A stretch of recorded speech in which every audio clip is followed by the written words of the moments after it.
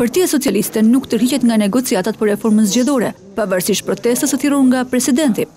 Presidenti aktual i Republikës është nji prej aktorëve të lidershipit të opozitës. Ne kemi një dakordësi me Partinë Demokratike, me lidershipin e saj të paktën zyrtar, sepse nuk di nëse ka ndonjë zhvillim që mund të jetë shkarkuar zoti Basha nga lidershipi i opozitës, por unë di që ai vazhdon të jetë kryetari i Partisë Demokratike për të vijuar bisedë, bisedimet. Numri dy i socialistëve bëri thirrje që asnjë aktor politik në vend, të mos vërë në rrezik shansin e Shqipërisë për të hapur bisedimet për anëtarësim këtë pranverë.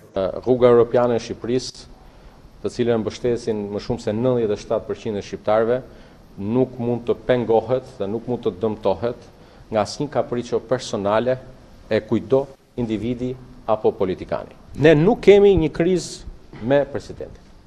Ka presidenti një krizë me Ilir Metën.